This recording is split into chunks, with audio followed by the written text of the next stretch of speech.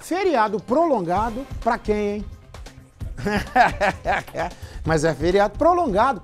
É sinônimo de viagem e pé na estrada. Ô, oh, saudade. Tanto tempo que eu não viajo. Na véspera da Sexta-feira da Paixão, também conhecido como Sexta Santa ou conhecido como Amanhã, quem está de folga se programa para rever os amigos e parentes. Nossa equipe foi até a rodoviária, né, ficar babando lá, né?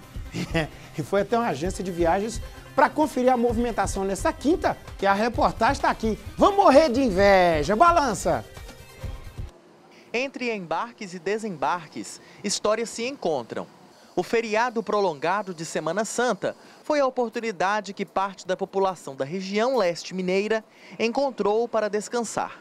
A Eliângela é autônoma. Ela explicou que vai rever a família e matar a saudade dos avós. Resolvi em cima da hora passar o, esse feriado lá na casa dos meus avós.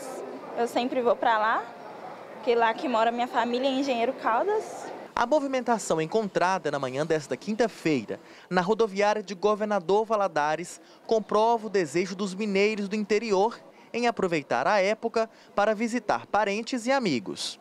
Nos guinchês das empresas de ônibus interestaduais, teve até fila de gente em busca de passagem.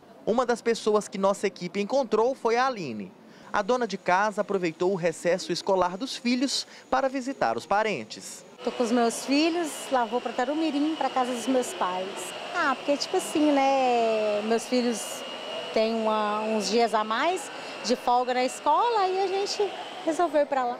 Neuza é do Rio de Janeiro. Ela contou o que fez para sair do estado carioca de última hora para encontrar a família no Vale do Aço. Eu vim do Rio de Janeiro, estou indo para o NAC. Não foi assim em cima da hora, porque eu tive essa folga, né? Aí eu aproveitei essa folga minha.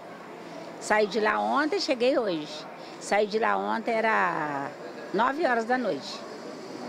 Cheguei aqui hoje, era 7h50 da manhã. Outro lugar onde as pessoas costumam procurar nesta época do ano são as agências de viagem.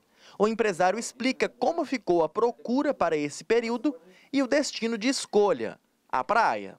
Chega a dobrar de tanta pessoa procurando. É, essa semana a gente tinha planejado levar apenas só um ônibus, né? é, em mais outras programações que a gente faz com mais ônibus. Essa a gente planejou só um ônibus que saiu ontem às 8 horas, mas a procura estava gigante nessa, nessa data. Principalmente Porto Seguro e Prado. As duas, principalmente porque Prado a gente fica mais no final de semana, Porto Seguro o pessoal já está acostumado, né? O, o, lugar mais agitado, mais animado. Então, Porto Seguro é a, é a escolha preferida daqui. Mineiro, você só vai na praia ali, você acha só mineiro. Mineiro comanda a praia. Ó, e amanhã toda a equipe comigo em Porto Seguro, viu? É um Porto, é um Porto Seguro a TV. Hã?